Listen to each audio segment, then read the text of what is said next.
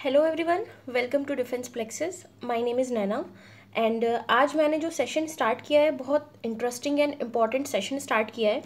ठीक है, जैसे कि आपको स्क्रीन पे दिख भी रहा होगा U P P S C C set twenty twenty क्या करेंगे हम? हम यहाँ पे सी सेट में जितने भी हिंदी के क्वेश्चंस आए हुए हैं ना प्रीवियस ईयर में, हम वो डिस्कस करेंगे। पहले मैंने ट्वेंटी ट्वेंटी के लिए हैं, ठीक है क्वेश्चन तो हम ट्वेंटी ट्वेंटी के हिंदी के क्वेश्चन डिस्कस करेंगे।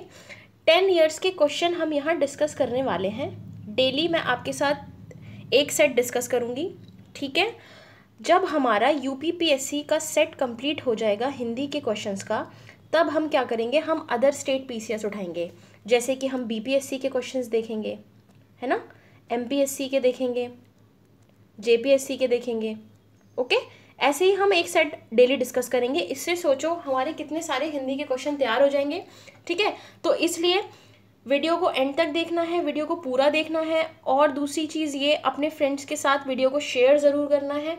लाइक ज़रूर कीजिएगा वीडियो को ओके चैनल को सब्सक्राइब नहीं किया है, जाके सब्सक्राइब कर दो। इंस्टा पे हमारे दो पेजेस दो पेजेस हैं डिफेंस प्लेक्सेस और आई एम लव आर्मी वहाँ से जाके आप हमारे चैनल को फॉलो कर सकते हैं। स्टार्ट करते हैं आज का लेक्चर यहाँ पे दिया हुआ है मृसण शब्द का विलोम। अच्छा विलोम शब्द पूछ रहा है यहाँ पे कि भाई मृसण शब्द का विलोम क्या होता है, ये बता दो। ठीक है, चार ऑप्शन उसने हमें दे दिए, सुकुमार, ठीक है, चिक्कड़, रूक्ष और अरसण। भाई सबसे पहले तो ये देख लेते हैं कि विलोम शब्द होते क्या हैं, ये भी तो पता होना चाहिए ना हमें। देखो यार, शब्द ना बहुत तरीके के होते हैं। पर्यायवाची शब्द होते हैं, समानार्थी शब्द होते हैं, ठीक है, यौगिक शब्द होते हैं, यौगिक रूढ़ शब्द होते हैं बट हमसे जो यहाँ पे इसने क्वेश्चन में पूछा है, हम क्यों ना पहले वो डिस्कस कर लें। देखो, दो तरीके के शब्द हो गए। पहला हो गया तुम्हारा, क्या? विलोम शब्द, जो कि क्वेश्चन में पूछा है। दूसरा हो गया तुम्हारा समानार्थी शब्द।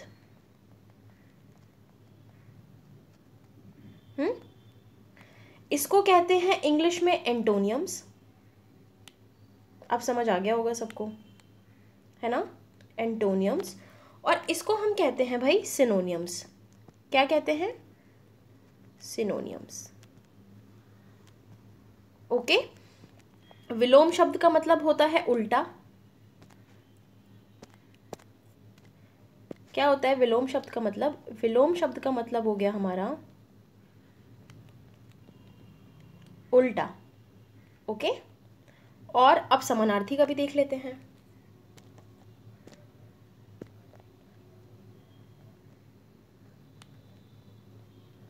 समानार्थी का मतलब होता है, अब इसको अगर मैं तोड़ूं समानार्थी शब्द को तो यहाँ पता चल रहा है सम, और सम मीन्स होता है समान तो ज़ाहिर सी बात है, जो जिन शब्दों के अर्थ समान होंगे, हम उन्हें समानार्थी शब्द कहेंगे, कह सकते हैं, ठीक है? जैसे प्रायवाची शब्द होते हैं, वो भी तो एक तरीके के समानार्थी शब्द ही तो हुए। भाई, उसमें तो एक वर्ड दे देते हैं और उसके फिर कई सारे मीनिंग्स होते हैं और सेम मीनिंग्स होते हैं, वो होते हैं आपके समानार्थी शब्द। Now coming back to the question ठीक है? वो पूछ रहा है मृसर शब्द का विलोम क्या है? यानी इसका उल्टा बता दो भैया। तो सबसे पहले तो ये जानो ना कि इसका मतलब क्या होता है। भाई, इसका मतलब होता है मृदुल। क्या होता है? मृदुल। अब भाई मृदुल का मतलब क्या होता है? ठीक है, मृदुल का मतलब होता है कोमल। ओके? मृदुल का मतलब हो गया कोमल। अब इसका उल्टा क्या होगा? भाई इसका उल्टा होगा रूक्ष। यानी इसका जो राइट आंसर हो जाएगा, वो हो जाएगा ऑप्शन नंबर सी रूक्ष इज़ अ राइट आंसर ठीक है? नेक्स्ट क्वेश्चन की तरफ़ मूव करेंगे हम। आई होप यहाँ पे सबको समझ आया होगा। कोई भी कंफ्यूजन हो कमेंट सेक्शन में पूछना ज़रूर। ओके? नेक्स्ट हम देखेंगे जिस मूल शब्द में विकार होने से क्रिया बनती है, उसे कहते हैं। बहुत अच्छा क्वेश्चन है और पीसीएस में ज़ाहिर सी बातें पूछा गया है। तो और पता है, बहुत बेसिक क्वेश्चन है। सबसे पहले ये जानो कि क्रिया होती क्या है। ये भी तो पता चले ना कि भाई क्रिया क्या होती है। तो क्रिया की मैं बात करूँ अगर। इसको हम इंग्लिश में बोलते हैं वर्ब ओके वर्ब बोलते हैं।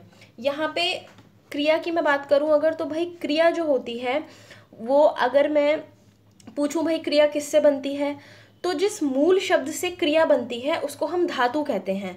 देखो, ऐसे क्रिया अपने आप में बहुत बड़ा चैप्टर है, ठीक है? उसमें भी आगे फर्दर क्लासिफिकेशन है, फिर उसके टाइप्स हैं, वो सब जब मैं क्रिया का पूरा चैप्टर पढ़ाऊँगी, हम वहाँ पे डिस्कस करेंगे। फ़िलहाल के लिए ये देख लो, जिस मूल शब्द से क्रिया बनती है, उसे हम धातु कहते हैं। क्या कहते हैं, इनको सब एक एक लाइन को नोट करते हुए चलना मैं एज इट इज़ डेफिनेशन बता रही हूँ। जिस मूल शब्द से क्रिया बनती है, उसको धातु कहते हैं। अच्छा अगर मैं क्रिया का एक एग्ज़ाम्पल बताऊँ, या फिर हिंदी में मैं तुमसे पूछूँ कि क्रिया का उदाहरण बताओ, मुझे कैसे पता चलेगा ये क्रिया है? तो भैया, यहाँ पर आप सिंपल सा मैं आपको एक्सप्लेन करती हूँ। अगर ये मैं लिखूँ कि वह खा रहा है। भाई, वह खा रहा है। इसमें क्रिया बता दो अब मुझे क्या है। इसमें क्रिया हो गई आपकी, क्या कर रहा है? वह खा रहा है। ठीक है, आगे भी इसका क्लासिफिकेशन होता है बट इससे आपको पता चल गया कि भैया ये क्रिया हो गई। ओके समझ आ गया? तो अब आते हैं अपने क्वेश्चन के ऊपर। छोटा सा डिस्क्राइब कर दिया मैंने क्रिया के बारे में, समझ में आया होगा। अब यहाँ पे क्या पूछ रहा है? अपना क्वेश्चन देख लेते हैं। पूछ रहा है, भाई, जिस मूल शब्द में विकार होने से क्रिया बनती है, उसे हम क्या कहते हैं? सर्वनाम कहते हैं। ठीक है, विशेषण कहते हैं। या फिर धातु कहते हैं या फिर प्रत्यय कहते हैं। अब जल्दी से आंसर बता दो इसका। मैंने अभी आपको बताया क्या होगा इसका आंसर। भाई, सिंपल सा हमारा आंसर हो जाएगा धातु। ठीक है, जिस मूल शब्द में विकार होने से क्रिया बन रही है, उसे धातु कह रहे हैं। सर्वनाम शायद मुझे बताने की ज़रूरत नहीं है। सर्वनाम, विशेषण और प्रत्यय। ठीक है, सर्वनाम क्या होता है भाई? प्रोनाउन होते हैं ना सर्वनाम। सर्वनाम प्रोनाउन होते हैं आपके। ठीक है, सबको ही पता होगा। विशेषण क्या हो गए? आपके एडजेक्टिव हो गए। विशेषण क्या होते हैं? आपके भाई एडजेक्टिव होते हैं। ठीक है, अब इंटरेस्टिंग चीज़ आती है यहाँ पे प्रत्यय। देखो, अब मैं प्रत्यय बताती हूँ, तुम्हें प्रत्यय क्या होता है? ध्यान से समझना।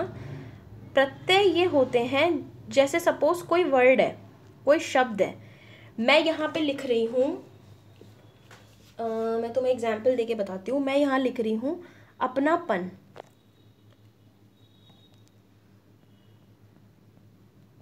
अपनापन। ऐसे शब्दांश, ठीक है, ऐसे शब्द जो वाक, जो किसी शब्द के एंड में लगते हैं, उनको हम प्रत्यय कहते हैं, सिर्फ़ इतना सा याद रखो। ऐसे शब्द जो किसी शब्दांश के अंत में लगते हैं, हम उनको प्रत्यय कहते हैं। अब इसमें प्रत्यय कौन सा है? अगर मैं इसको तोड़ूं तो ये हो जाएगा अपना प्लस पन। ठीक है तो प्रत्यय मेरा हो गया ना, ये पन। तो ये हो गया प्रत्यय, मैं यही बताना चाह रही थी आपको। शब्द के एंड में लगे ना तो इसलिए ये प्रत्यय हो गए। नेक्स्ट हम देखते हैं, जगत प्लस ईश में, जगत प्लस ईश इज़ इक्वल टू जगदीश में कौन सी संधि है? देखो, संधि एक ऐसा टॉपिक है, ठीक है? संधि एक ऐसा टॉपिक है जिसमें से तुम्हें तुम्हारा कोई भी एग्ज़ाम हो, मैं पर्टिकुलर पीसीएस एग्ज़ाम की बात नहीं कर रही हूँ यहाँ पे, तुम्हारा कोई भी एग्ज़ाम हो, तुम्हारा एसएससी हो ठीक है, तुम्हारे यूपी ट्रिपल एससी हो। अभी देखो, परसों यूपी ट्रिपल एससी का पेट का एग्ज़ाम हुआ है, उसमें संधि से क्वेश्चन आए थे। ठीक है, कोई भी तुम्हारा एग्ज़ाम हो, उसमें भैया तुम्हारे संधि से क्वेश्चन आने ही आने हैं और तुम्हें दो क्वेश्चन एज इट इज़ रखे हुए मिल जाएँगे। या तो वो ये पूछ लेगा कि कौन सी संधि है, जैसे इस क्वेश्चन में पूछा है, या फिर वो पर्टिकुलर तुम्हें कोई वर्ड दे देगा, ठीक है, उसको उसको लिख देगा कि भाई इसको तोड़ के बताओ कि इसका क्या होगा। ठीक है, जैसे ये जगत प्लस जगदीश लिखा हुआ है। अब इसको बता, अब इससे तुमसे पूछ लेगा कि भाई जगदीश को चार ऑप्शन दे देगा, बता दो, इसको मैं कैसे तोड़ूँ? जैसे तुम, अब तुम्हें पता चल गया कि भाई जगत प्लस ईश है, ऐसे आ जाते हैं क्वेश्चन यहाँ पे पूछ रहा है कि भाई जगत प्लस ईश में कौन सी संधि है? पहले इसका आंसर देखो। इसका आंसर हो जाएगा व्यंजन संधि। इसका राइट आंसर हो जाएगा व्यंजन संधि। देखो, संधि तीन तरीके की होती है, मैं थोड़ा सा तुम्हें बताऊँ। संधि भाई तुम्हारी तीन तरीके की होती हैं। तुम्हारी जो संधि हो गई ना, वो होती हैं तुम्हारी तीन तरीके की। कौन कौन सी होती हैं? स्वर संधि, व्यंजन संधि, और जी हो गई तुम्हारी विसर्ग संधि। भैया, जो स्वर लिखा हुआ है, स्वर सबको पता है, क्या होते हैं, नहीं पता है तो जान लो। छोटा आ, बड़ा आ, छोटी ई, बड़ी ई, ये सब होते हैं तुम्हारे स्वर। व्यंजन तुम्हारे होते हैं का, खा, गा, घा, ये सब होते हैं तुम्हारे व्यंजन। ओके, अब कोई पर्टिकुलर वर्ड है, जैसे मैं यहाँ पे लिख दूँ नी संदे मैं लिखूँ यहाँ पे नी संदे तो ये हो जाएगा तुम्हारा, इसमें क्या लगा हुआ है? इसमें तुम्हारी विसर्ग लगा हुआ है? तो जहाँ पे भी दिख जाए मार्क कर देना फटाक से, ये हो गई विसर्ग संधि। ठीक है, अब देखो यहाँ पे पता चल गई संधि। नेक्स्ट हम क्वेश्चन की तरफ़ मूव करेंगे। अच्छा एक क्वेश्चन इस टाइप के आते हैं कि जैसे तुम्हें एक अशुद्ध वाक्य दे देगा इनकरेक्ट दे देगा तुम्हें सेंटेंस उसको तुम्हें करेक्ट करना है, जैसे हम इंग्लिश में करते हैं, ऐसी सेम यहाँ पे हो जाएगा कि वाक्य में अशुद्धि देखनी है आपकी। अब देखो यहाँ पे पूछ रहा है कि निम्नलिखित वाक्यों में से कौन सा वाक्य विरामादि चिन्ह की दृष्टि से शुद्ध है? यहाँ पे विराम आदि। ये बोल रहा है कि यार सेंटेंस सारे सेम है। बस तुम्हें ये बताना है कि इसमें जो ये विराम चिन्ह लगे हुए हैं ना, कहाँ पे कौन सा गलत है और कौन सा सही है? वो सिर्फ़ इतनी सी बात पूछ रहा है तुमसे। अब देखो। पहला सेंटेंस मैं तुम्हें पढ़ के बताऊँ। क्रोध, कौमा, चाहे जैसा भी हो जैसा भी हो, बात हो गई, ख़त्म। यहाँ पे मनुष्य को दुर्बल बनाता है। डेफिनेटली ये गलत होगा, ठीक है? क्योंकि, और फिर ये सेकंड वाला देखो, क्रोध, उसके बाद में उसने ये एक्सक्लेमेटरी वाला साइन लगा दिया। इसको हिंदी में पता है क्या कहते हैं? इसको बोलते हैं विस्मयादि बोधक। विस्मयादि बोधक। ठीक है? तो यहाँ पे तो ऐसी कुछ कंडीशन ही नहीं है ना कि उसने ये वाला साइन लगा दिया। चाहे जैसा भी हो, मनुष्य को दुर्बल बनाता है। डेफिनेटली ये भी तुम्हारा गलत हो जाएगा। अब देखो थर्ड वाला, क्रोध चाहे जैसा भी हो, मनुष्य को दुर्बल बनाता है। यहाँ पे हम देख सकते हैं, देखो, क्रोध कॉमा लगाया उसने, बिल्कुल ठीक। चाहे जैसा भी हो, दूसरा सेंटेंस लिखा उसने, चाहे जैसा भी हो के बाद, यानी आगे और भी सेंटेंस आएगा, उसने यहाँ कॉमा लगा दिया, मनुष्य को दुर्बल बनाता है, यहाँ पे उसने अल्टीमेटली पूर्ण विराम लगा दिया, ये क्वेश्चन हो जाएगा हमारा बिल्कुल ठीक। फोर्थ वाले को भी देख लेते हैं।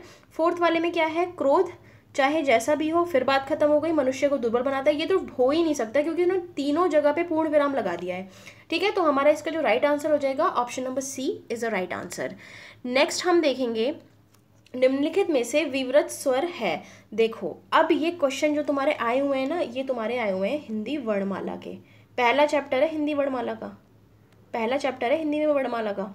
ठीक है, और उसमें तुम्हें अच्छे से पढ़ना पड़ेगा क्योंकि यहाँ से क्वेश्चन वो पूछता ही पूछता है। देखो विव्रत का मतलब क्या होता है? सबसे पहले ये जान लो। विव्रत का मतलब हमारा ये होता है अच्छा मैं तुम्हें पहले बताती हूँ कि तीन चीज़ें होती हैं, पहले ये देख लो, वरना तुम कन्फ्यूज़ हो जाओगे। देखो, पहली चीज़ होती है संव्रत लिखते रहना अगेन कह रही हूँ नोट डाउन करते रहना, ठीक है? पहली चीज़ होती है संव्रत ओके नेक्स्ट होता है हमारा अर्ध संव्रत नेक्स्ट क्या हो गया हमारा? अर्ध संव्रत ओके थर्ड होता है हमारा विव्रत जो कि क्वेश्चन में पूछा है। ओके अब देखो समृद्ध में क्या होता है? जैसे हम कोई स्वर बोल रहे हैं तो उन शब्दों के उच्चारण में मुँह हमारा सबसे कम खुलता है। ठीक है? सबसे कम खुलेगा मुँह। और अर्ध समृद्ध में क्या है? इसमें हमारा समृद्ध की तुलना में कुछ ज़्यादा खुलता है मुँह। अधिक खुलता है मुँह, ठीक है? विव्रत में क्या होता है? विव्रत में सबसे अधिक खुलता है हमारा मुँह। जब हम किसी वर्ड को बोलेंगे तो हमारा मुँह सबसे अधिक खुलेगा। अब इनके एग्ज़ाम्पल देखो तुम। ये आते हैं एग्ज़ाम में। ये तो बेसिक सा था, मैंने तुम्हें बता दिया। डेफिनेशन पता होना चाहिए ना। इसका एग्ज़ाम्पल देखो। बड़ी ई और बड़ा ओ ठीक है? मैं ऐसे लिख के बता देती हूँ। यहाँ पे थोड़ा कन्फ्यूज़न हो जाएगा तुम्हें, वरना। समृद्ध का मैं तुम्हें उदाहरण बता रही हूँ। समृद्ध का उदाहरण होता है, इसको लिख लेना। क्या होता है? बड़ी ई और बड़ा ऊ। ओके? अच्छा अब आएगा अर्ध समृद्ध।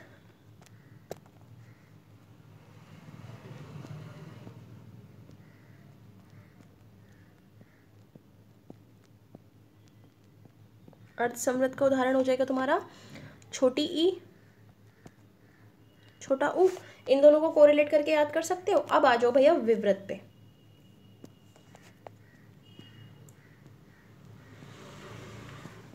इसका होता है तुम्हारा, क्या होता है? ए बड़ी ए और बड़ा आ ओके बड़ी ए और बड़ा आ ठीक है? अब आ जाओ क्वेश्चन पे। क्या पूछा है उसने? विवृत पूछा है? तो यहाँ पे मार्क कर दो जल्दी से। बड़ी ई नहीं। ये हो गया तुम्हारा किसका? बड़ी ई अभी मैंने बताया, समृद्ध का। बड़ा ऊ हो गया तुम्हारा। ये भी समृद्ध का है। और तुम्हारा ए बड़ी ए ये हो जाएगा तुम्हारा विव्रत का ओके तो इसका जो राइट आंसर हो जाएगा सिक्सटीन का, वो हो जाएगा बी नेक्स्ट क्वेश्चन देखते हैं। कभी ना कभी में कौन सा क्रिया विशेषण है? अच्छा देखो, कभी ना कभी में कौन सा क्रिया विशेषण है? इसमें है तुम्हारा यौगिक क्रिया विशेषण। कौन सा हो गया तुम्हारा यौगिक क्रिया विशेषण? तो फिफ्टीन का जो राइट आंसर हो जाएगा वो हो जाएगा ए अब क्या होता है ये क्रिया विशेषण? भैया, जो क्रिया विशे, जो क्रिया की विशेषता बताते हैं ना, जो शब्द क्रिया की विशेषता बताते हैं, उनको हम क्रिया विशेषण कहते हैं। ज़्यादा डीप में नहीं जाएँगे, वरना कन्फ्यूज़ हो जाओगे तुम लोग। ठीक है, फ़िलहाल इसका राइट आंसर देख लो तुम। फिफ्टीन का जो हो जाएगा, वो ए हो जाएगा। यौगिक का मतलब क्या होता है? ये मैं तुम्हें बता देती हूँ। देखो, यौगिक का मतलब होता है योग। योग से बनना। यानी जो शब्द दो शब्दों के योग से बनेंगे, उनको हम यौगिक शब्द कहेंगे। मैंने बताया था ना अभी कि शब्द शब्द का ही पार्ट होता है ये विलोम शब्द, समानार्थी शब्द, यौगिक शब्द, योग, यौगिक, रूढ़ शब्द। तो उसमें, उसका एग्ज़ाम्पल है ये ओके तो इसका आंसर हो जाएगा यौगिक। नेक्स्ट क्वेश्चन हम देखेंगे। परिताप शब्द का अर्थ है। अच्छा इसने पूछा है कि अर्थ क्या है? तो सबसे पहले इसका राइट आंसर देखो। इसका राइट आंसर हो जाएगा संताप। फोर्टीन का जो राइट right आंसर हो जाएगा, वो हो जाएगा डी परिताप का अर्थ होता है संताप। को रिलेट करके इजीली याद कर सकते हो। परिताप, संताप। ओके अच्छा ज्वाला का पता चल ही रहा है भैया। अग्नि की बात हो रही है। इसका मतलब तो अग्नि ही होगा। हम्म? प्रमाण प्रमाण का मतलब वही होता है साक्ष्य, जिसे इंग्लिश में आप प्रूफ कहते हो। है ना? तो इसका आंसर हो जाएगा संताप। नेक्स्ट हम देखेंगे आठ कनौजिया नौ चूल्हे लोकोक्ति का अर्थ क्या है? अब देखो। ठीक है? आठ कनौजिया, नौ चूल्हे, ये हो गई आपकी लोकोक्ति। मुहावरे और लोकोक्तियाँ दो अलग अलग चीज़ होती हैं और तुम्हारे एग्ज़ाम में आता ही आता है यहाँ से क्वेश्चन। परसों यूपी ट्रिपल एससी का पेट का एग्ज़ाम हुआ था। ठीक है? उसमें क्वेश्चन आया था, दूध का दूध और पानी का पानी करना। ठीक है? दूध का दूध और पानी का पानी करना। अब मुझे कमेंट सेक्शन में इस मुहावरे का अर्थ तुम लोग बताओगे कि क्या होता है। दूध का दूध, पानी का पानी करना। ओके? तो सबसे पहले इसका आंसर देखो क्या होगा। इसका आंसर होगा अधिक व्यक्ति होने से काम बिगाड़ना। ऑप्शन नंबर लो, पहले ही मिल गया। Option number first is a right answer यानी जिस जगह पे अधिक व्यक्ति होंगे, वहाँ पे क्या हो जाएगा? वहाँ पे काम बिगड़ जाएगा। तो आठ कनौजिया नौ चूल्हे, यानी आठ कनौजिया और नौ चूल्हे काम बिगड़ गया यहाँ पे, ठीक है? तो इसका आंसर हो गया फ़र्स्ट नेक्स्ट क्वेश्चन देखेंगे, निम्नलिखित वर्णों में से कौन सा वर्ण मूर्धन्य नहीं है? मूर्धन्य नहीं है, इसका मतलब क्या होता है? पहले ये जान लो भैया, मूर्धन्य वर्ण होते क्या हैं? देखो आंसर देखो पहले इसका, ठीक है? कौन सा नहीं है? अच्छा ये ज़रूर देख लिया करो कि क्वेश्चन में नहीं पूछा है या है पूछा है। कई बार गलत करके आ जाते हैं बच्चे क्वेश्चन पढ़ा, जल्दी में इतनी जल्दी में इतना होते हैं कि आगे का पढ़ेंगे ही नहीं। मार्क कर लिया करो ना वहीं पे कि नहीं पूछ रहा है। ठीक है तो नहीं पूछा है तो भाई हो जाएगा जा। सेवेंथ का राइट आंसर हो जाएगा ए अच्छा टा, ठा और डा। अभी मैं आपको बताती हूँ मूर्धन्य होते क्या हैं। देखो, मूर्धन्य की अगर मैं बात करूँ ठीक है? मैं अगर मूर्धन्य की बात करूँ तो ये तुम्हारे टा, ठीक है, ठा, डा और तुम्हारा डा, ये सब होते हैं तुम्हारे मूर्धन्य। अब इनका जब प्रोनाउंसिएशन करोगे ना तो माउथ के पिछले वाले पार्ट से जब बोल के देखोगे तो पिछले वाले पार्ट से आवाज़ आएगी, जैसे टा, ठा, ठीक है? बैक पार्ट से आवाज़ आ रही है तो इसलिए हम बोलेंगे इसको, इनको बोला जाता है मूर्धन्य। ठीक है? तो इसका जो आंसर हो जाएगा, वो हो जाएगा, जा, ये नहीं है, बाकी सब मूर्धन्य हैं। ओके नेक्स्ट हम देखते हैं हिंदी वर्णमाला में अयोगवाह क्या होते हैं? अगेन वर्णमाला का क्वेश्चन है। अभी तक हम तीन क्वेश्चन वर्णमाला के डिस्कस कर चुके हैं। ठीक है? मैंने बोला था वर्णमाला से क्वेश्चन आते ही आते हैं। देखो, इसका राइट आंसर देख लो, जल्दी से क्या हो जाएगा? सिक्सटी सिक्स का हो जाएगा बी ये हो जाएगा अंग और आह। इसको बोलते हैं हम विसर्ग को आ तो ये हो जाएगा हमारा क्या? ये हो जाएँगे हमारे अयोगवाह ठीक है? ये हो जाएगा हमारा अयोगवा तो इसका राइट आंसर हो गया बी नेक्स्ट क्वेश्चन हम देखेंगे, पुरुषवाची सरनामों के विषय में दिए गए निम्नलिखित कथनों में से कौन था, कौन सा कथन सही नहीं है? सरनाम का क्वेश्चन है, इसमें हमें देखना है, इसमें सिर्फ़ इसका राइट आंसर देख लो। मैं ज़्यादा डीप में बताऊँगी ना तो तुम कन्फ्यूज़ हो जाओगे इसमें। ठीक है? वो पूछ रहा है कि वह का प्रयोग पुल्लिंग, स्त्रिंग दोनों में हो सकता है, उसने नहीं पूछा है। ठीक है? उसने नहीं पूछा है। वह पूछ, वह का प्रयोग पुल्लिंग स्त्रिंग दोनों में हो सकता है। बिल्कुल हो सकता है। ठीक है, हमें उत्तम पुरुष कर्मकारक का बहुवचनीय रूप है। क्या पूछ रहा है ये? हमें उत्तम पुरुष कर्म कारम का बहुवचीय कर्म कारक का बहुवचय रूप है, ये भी है। ठीक है? संबंध कारक में मैं का सही रूप मेरे को होता है, ये भाई गलत हो गया आपका। तो इसका जो राइट आंसर हो जाएगा, वो हो जाएगा option number C is a right answer और फोर्थ है आपका, यह है के साथ ने का प्रयोग संभव नहीं है। हाँ इसका प्रयोग संभव नहीं है। तो इसका राइट आंसर हो जाएगा option number C is a right answer okay next question देखेंगे। समवाय शब्द का अर्थ है, ये पूछ रहा है कि भाई समवाय शब्द का अर्थ बता दो कि क्या होता है। समवाय शब्द का अर्थ समूह होता है, या फिर तुम्हारा समवयस्क होता है, समान वायु होता है, या फिर अच्छा समय होता है। इसका याद कर लो, इसका हो जाएगा तुम्हारा, समवाय शब्द का अर्थ हो जाएगा समूह, ओके, जिसको हम इंग्लिश में कहते हैं ग्रुप। ओके? तो इसका अर्थ हो गया ये। बाकी ये समान वायु ये कुछ नहीं है। अच्छा समय तो एज इस इसमें मैं क्या एक्सप्लेन करूँ? ये तो सिर्फ़ एक लिख दिया है इन्होंने अच्छा समय। बाकी समव्यस्क समान व्यस्क ये भी कुछ नहीं है। ओके? तो इसका आंसर हो गया आ, आपका ऑप्शन नंबर फ़र्स्ट अच्छा अब आ जाओ भाई नेक्स्ट क्वेश्चन पे। जी जी विषा का अर्थ है बहुत अच्छा क्वेश्चन है और मोस्ट इंपॉर्टेंट क्वेश्चन है। मेरे हिसाब से तो ये बहुत सारे एग्ज़ाम्स में पूछा गया है बहुत इंपॉर्टेंट क्वेश्चन है। और इसका अर्थ क्या होता है, ये पूछ रहा है। जीतने की इच्छा, परोपकार की इच्छा, जीने की इच्छा या फिर युद्ध की इच्छा? तो इसमें हमारा आंसर क्या हो जाएगा? सबसे पहले इसका आंसर देख लो। इसका आंसर हो जाएगा option number B is a right answer जी जी विषय का मतलब होता है जीने की इच्छा। ठीक है, अब बाकी का हम देख लेते हैं। बाकी का भी मतलब एक बार देख लेते हैं कि भाई क्या होता है। तो यहाँ पे जीतने की इच्छा के लिए क्या टर्म यूज़ करेंगे हम? जीतने की इच्छा के लिए हम टर्म यूज़ करेंगे यहाँ पे जिगीशा। क्या बोला मैंने? जी, गीशा। जिगीशा जो हो जाएगा, ये हो जाएगा आपका किसके लिए? जीतने की इच्छा के लिए। युद्ध की इच्छा के लिए क्या हो जाएगा? युद्ध की इच्छा के लिए हो जाएगा आपका युयुप्सु। क्या हो जाएगा? युयुप्सु। ओके? जीतने की इच्छा जिगीशा जीजीविशा जीने की इच्छा और युद्ध की इच्छा हो गया आपका युयुप्सु। ओके नेक्स्ट क्वेश्चन देखेंगे। आपका समास से क्वेश्चन है। समास आपको पता ही है कितने तरीके के होते हैं। कर्मधारय भी होता है, बहुब्रीही भी होता है, द्विगु भी होता है द्वंद्व भी होता है। ये सब आपके समास ही तो होते हैं। ठीक है? तो इसमें से पूछ रहा है कि इसका आंसर बता दो जल्दी से। तो यहाँ पे इसका आंसर हो जाएगा, यथाशक्ति में कौन सा समास है? यहाँ पे है तुम्हारा अवयवी भाव समास। ओके तो इसका राइट आंसर हो जाएगा सी बाकी अच्छा नेक्स्ट क्वेश्चन भी है हमारा। तो नेक्स्ट क्वेश्चन की बात करते हैं हम। निम्नलिखित में से काम के लिए कौन सा शब्द प्रयुक्त नहीं हुआ है? अगेन पूछ रहा है कि नहीं हुआ है।